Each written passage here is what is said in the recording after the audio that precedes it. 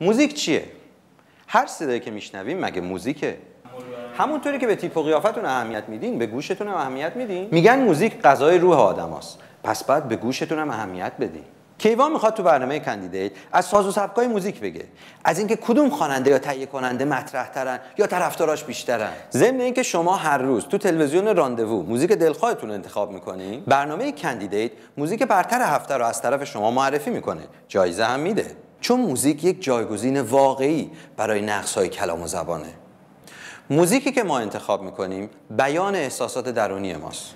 پس اگه دستن در کار موزیکین خواننده این یا فقط موزیک گوش میدین کاندیدای برنامه ما هستین.